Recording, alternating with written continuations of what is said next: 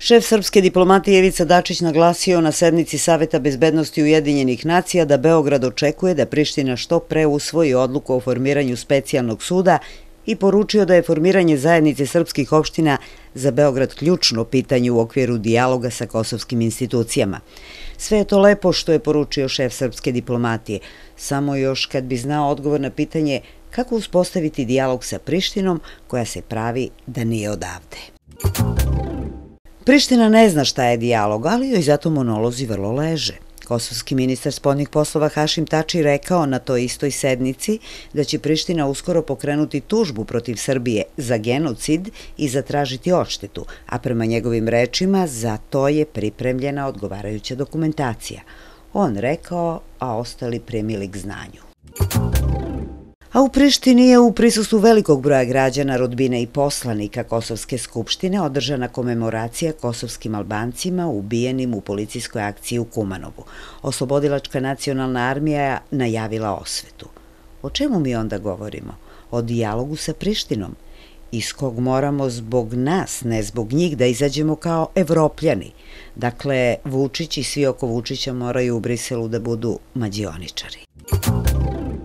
Umeđu vremenu, srpski premijer će posetiti Albaniju. Tokom njegove posete Tirani, prve posete jednog srpskog premijera u istoriji, bezbednostne mere biće podignute na najviši stepen. Kontrola će biti obavljena sa kopna i iz vazduha, a biće angažovano 1500 pripadnika bezbednostnih snaga, javljaju albanski mediji. Vala i to je premalo u saznanje gde se i kod koga uputio srpski premijer. Šešelj nije otišao u Hag 26. maja, kako je rečeno. Beograd čeka zvaničan nalog za hapšenje. Vlada će odluku doneti kada razmotri sve aspekte slučaja, rekao predsednik Nacionalnog saveta za saradnju sa Haškim tribunalom Rasim Ljajić. Srbija mora da očuva političku stabilnost s jedne i da poštuje domaće zakonodavstvo i zakonske odredbe kako ne bi napravila grešku, rekao je Ljajić i dodao – Ne plašimo se cirkusa, ovo što je Hag napravio je cirkus sam po sebi. Jel rekoh ja malo čas da Vučić i ostali moraju da budu mađioničari, ne samo u Briselu, već i u Haškom cirkusu. Odnosi SNS-a i SPS-a su odlični njih ne može poremetiti ni jedan događaj koji se desi, izjavio port parol socijalista Đorđe Milićević. Nije mi jasno zašto socijalisti imaju neodoljivu potrebu da stalno govore o dobrim odnosima sa SNS-om, a SNS-ovci ćute. Niti potvrđuju, niti demantuju. Baš ih briga. Oni su dovoljni sami sebi. Hrvatskoj će za pet godina nedostajati energija za pokretanje proizvodnja, a gradnja novih kapaciteta nije daleko odmakla, upozorili su stručnjaci. A da im pozajmimo malo, komšije smo – Nismo mi kao oni, volimo da pomognemo, ne da odmognemo. Polovina ispitanika u Srbiji obuhvaćenih analizom fondacije Konrad Adenauer ne vidi nikakvu korist od medija, što je razumljivo, ali ne i opravdano.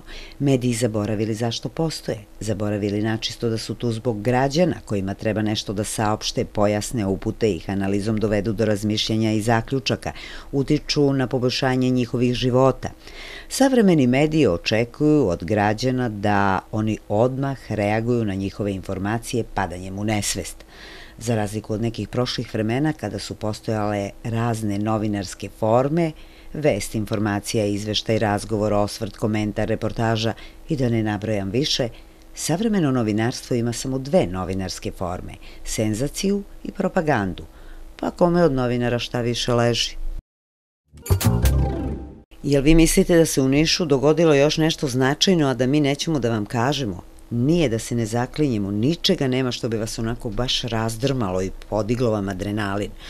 Što je važno što je Institut za javno zdravlje sa domom zdravlja organizovao manifestaciju za zdravlje zuba, što je škola Dosite Obradović obeležila svoj dan, što će u Galeriji Srbija biti otvorena izložba Mladi Hart fondacije ili što će se u Simfonijskom orkestru koncertom predstaviti studenti Fakulteta umetnosti. Sve su to tako dosadne informacije. Koga to još zanima? A mi nemamo bolje. Niko ništa grozno nije uradio, niko nikoga nije opljačkao, barem da je izbila neka tuča na ulici, ništa. Nema čovek o čemu da piše. Ako ne mislite ovako kako sam ja napisala, a znam da većina vas ne misli, Kažite nam šta mislite. Recite nam šta biste rado slušali i gledali. Pomognite nam da budemo novinari. I demantujte tvrdnju da baš vi, gledaoci, želite da gledate, slušate i čitate o grozotama o kojima neki novinari govore i pišu. Neko mora da napravi prvi korak, pa da ga napravimo zajedno.